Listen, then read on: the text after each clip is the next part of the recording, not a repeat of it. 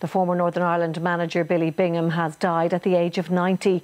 He led Northern Ireland to the 1982 and 1986 World Cups and also played at the 1958 World Cup in Sweden. His final game in charge was against the Republic of Ireland in Belfast in 1993.